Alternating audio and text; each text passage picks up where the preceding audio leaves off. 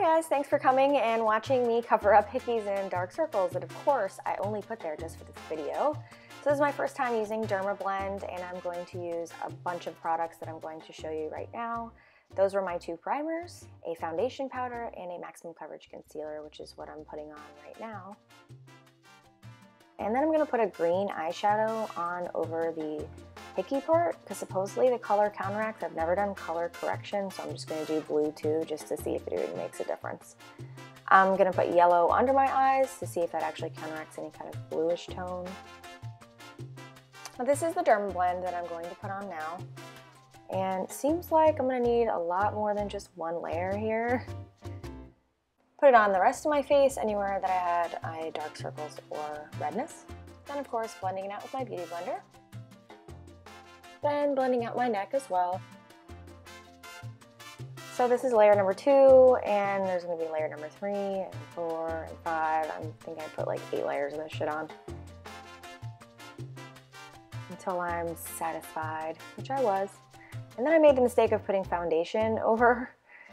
Apparently Dermablend does not play well with others. As soon as I put that on and tried to blend it, it got rid of everything and I had to kind of start over. Instead of putting on more layers, I thought maybe I could put some foundation powder over it, which kind of worked. It looks good enough. I put some translucent powder over this to set it. And then I'm gonna go on with the rest of my makeup. So this is just my face color to make sure I don't look dead.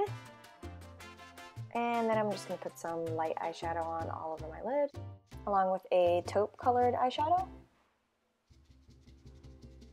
And then some dark brown to make some depth. And I'm gonna blend all that out.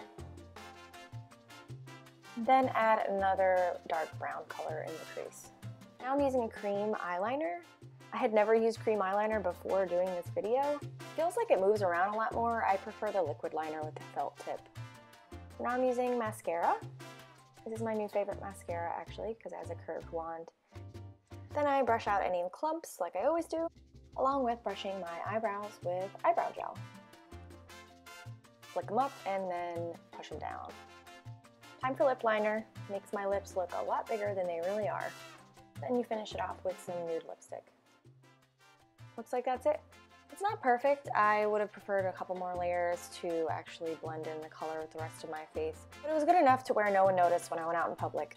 So I hope you like this video. Ta-da! Thanks for watching.